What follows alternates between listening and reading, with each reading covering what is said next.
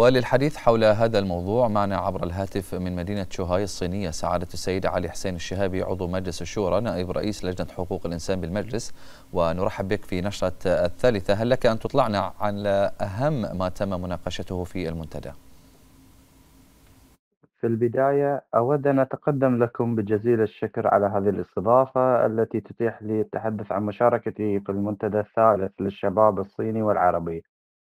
حيث شهدت الجلسة الأخيرة في المنتدى نقاشات ثرية وحوارات ملهمة لتعزيز واقع الانفتاح والتعاون الشبابي العربي الصيني والتي أكدت على أهمية الاستثمار في الطاقات الشبابية. كعامل رئيسي في تحقيق التنمية المستدامة وتعزيز العلاقات العربية الصينية. فيما شهدت المنتديات الفرعية التي عقدت على هامش المنتدى الرئيسي نقاشات حول مبادرة الحزام والطريق ومبادرة الحضارة العالمية وبرنامج زيارات الشركات المحلية بمدينة شوهاي. وما لها من دور في تقريب وجهات النظر وتهيئة المناخات الإيجابية لمزيد من التعاون العربي الصيني. وقد تقدم خلال خلال الجلسة الأخيرة باقتراح لإنشاء مركز أبحاث وابتكار مشتركة بين الدول العربية وجمهورية الصين الشعبية الصديقة. تركز على التكنولوجيا المتقدمة مثل الذكاء الاصطناعي والروبوتات والتكنولوجيا الخضراء وهو الأمر الذي من شأنه تعزيز مسارات التعاون الشبابي العربي الصيني. للعمل معا على مشاريع تعالج تحديات عالمية مثل ندرة المياه والطاقة النظيفة كما اقترح إطلاق برنامج سفراء الشباب العربي الصيني وذلك من خلال اختيار مجموعة من الشباب السياسيين المتميزين من كلا الطرفين ليكونوا سفراء ثقافيين يتولون تنظيم الفعاليات الثقافية المشتركة بين الجانبين والعمل على تعزيز العلاقات العربية الصينية في كافة المجالات كما اقترح إنشاء نعم. صندوق مالي مشترك لدعم المشاريع الابتكارية التي يتعاون فيها الشباب من الصين والدول العربية لا سيما في المشاريع التي تخدم تحقيق أهداف التنمية المستدامة نعم آه، سيدي الكريم ما هي أهداف المنتدى وأهميته في تعزيز العلاقات العربية الصينية بشكل عام والعلاقات أيضا آه، آه، الصينية البحرينية بشكل خاص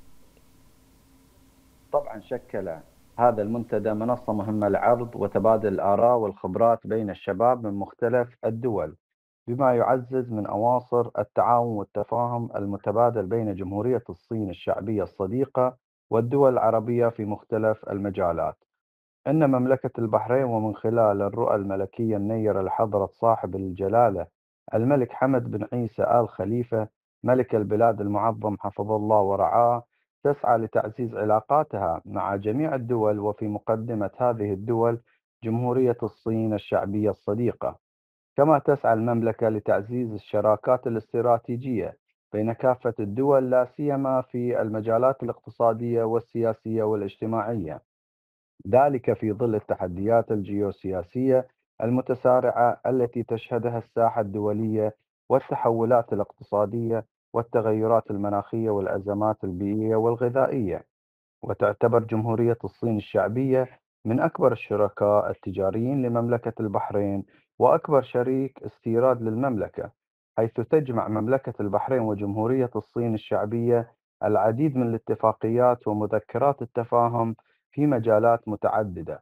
وقد توجت هذه العلاقات الثنائية المتميزة بين البلدين الصديقين بتدشين البيان المشترك بشأن إقامة علاقات الشراكة الاستراتيجية الشاملة بين مملكة البحرين وجمهورية الصين الشعبية في عام 2024 الأمر الذي يدفع نحو تعميق آفاق التعاون الثنائي الوثيق ويفتح مسارات مثمرة للنهوض بالشراكات التنموية المستدامة والتي يأتي في مقدمتها تعميق التعاون في المجالات الشبابية. نعم من مدينة شوهاي الصينية سعادة السيد علي حسين الشهابي عضو مجلس الشورى نائب رئيس لجنة حقوق الإنسان في المجلس. شكرا جزيلا لك.